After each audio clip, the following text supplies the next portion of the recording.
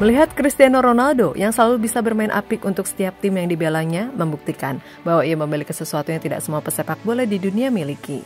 Ya, kita tentu ingat betapa mengerikannya si R7 kala membela Real Madrid. Dan itu berlanjut saat ia bermain untuk Juventus dan Manchester United musim ini. Ya, di mana pun Ronaldo bermain, ia akan selalu menjadi pemimpin dan bintang di sana. Lantas, bagaimana cara Ronaldo melakukannya? Dan inilah cara Ronaldo beradaptasi dengan setiap klub yang dibelanya.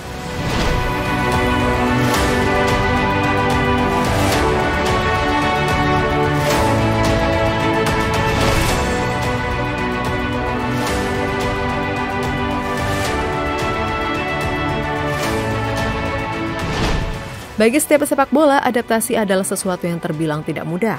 Sebab ketika mereka berada di klub baru, pastilah banyak hal yang berubah.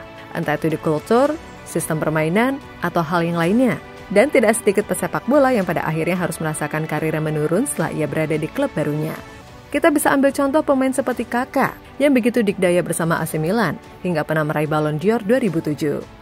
Namun setelah ia memutuskan pindah ke Real Madrid, dirinya tidak begitu bersinar dan lebih sering berkutat dengan cedera. Lalu ada nama-nama macam Fernando Torres, Eden Hazard, Andriy Shevchenko, Robinho, Antoine Griezmann, hingga Lionel Messi. Mereka semua gagal memenuhi ekspektasi di tim barunya dan karirnya tidak secemerlang di klub sebelumnya. Tapi itu semua tampaknya tidak berlaku bagi Ronaldo Ya, bersama Zlatan Ibrahimovic, CR7 adalah pemain yang terbilang sukses di mana pun ia bermain. Namun catatan Ronaldo jelas lebih mentereng ketimbang Ibra, yang hanya mampu bersinar di level domestik.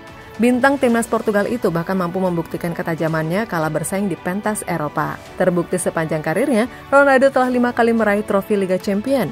Dan di musim ini, Ronaldo pun telah mencetak 6 gol dari lima penampilannya di kompetisi klub paling bergengsi di benua biru tersebut.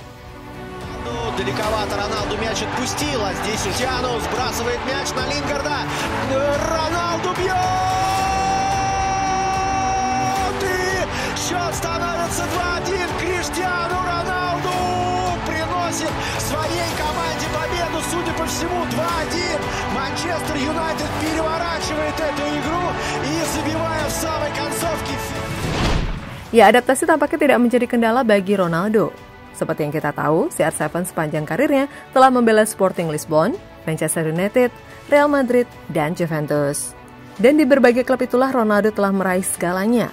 Hingga di periode keduanya kini bersama Setan Merah, Kapten Timnas Portugal yang telah berusia 36 tahun tersebut tetap menunjukkan performa yang api.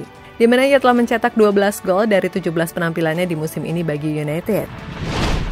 Ya, kemampuan adaptasi Ronaldo sendiri pernah mendapatkan pujian dari sang rival Lionel Messi, di mana La Pulga secara terbuka mengaku kagum dengan proses adaptasi Ronaldo, terutama di musim ini yang memutuskan untuk pulang ke Old Trafford. Manchester United adalah tim yang sangat kuat dengan pemain hebat. Cristiano sudah mengenal klub ini, tetapi itu ada di masa lalu. Dan sekarang, dia telah beradaptasi dengan cara yang mengesankan. Sejak awal dia telah mencetak gol seperti biasanya, dan tidak memiliki masalah dalam beradaptasi, kata Messi dilansir dari Marka. Salah satu kunci keberhasilan Ronaldo, mengapa ia sangat mudah beradaptasi di setiap klub yang dibelanya adalah kemampuannya dalam berkomunikasi.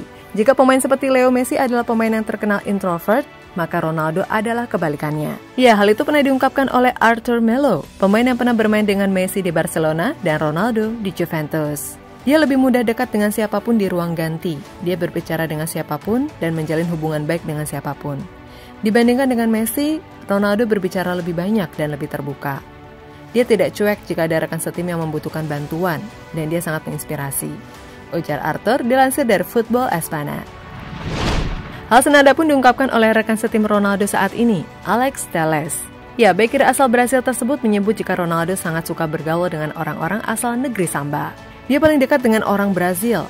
Dia sangat ceria, selalu bermain dan dalam suasana hati yang baik. Dia suka mendengarkan musik yang hidup dan mengobrol dengan kami. Dia mencoba meniru cara kami berbicara bahasa Portugal Brasil. Kami bahkan pernah membuat mini rando de samba di bus. Dia mendekati kami dan mulai bermain samba juga. Dia sangat suka itu. Ujar Telas dilansir dari Mirror. Selain kemampuan komunikasi yang baik, kemampuan untuk beradaptasi dengan berbagai sistem pelatih menjadi kunci tersendiri bagi CR7. Ya, sepanjang karirnya, ia telah bekerja sama dengan berbagai pelatih dan tentunya berbagai macam sistem.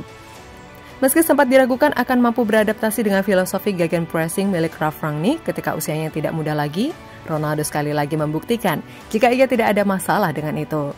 Seperti yang terlihat dalam laga melawan Crystal Palace kemarin, di mana CR7 terlihat sangat aktif berlari untuk membantu tim di skala transisi dalam menyerang maupun bertahan. Sebuah bukti nyata dari Cristiano Ronaldo jika ia adalah pemain top dengan dedikasi yang tinggi yang patut dijadikan inspirasi bagi para pemain muda saat ini. Jadi telah tadi pembahasan tentang bagaimana cara Ronaldo beradaptasi dengan setiap klub yang dibelanya, hingga dirinya selalu sukses di mana pun ia berada.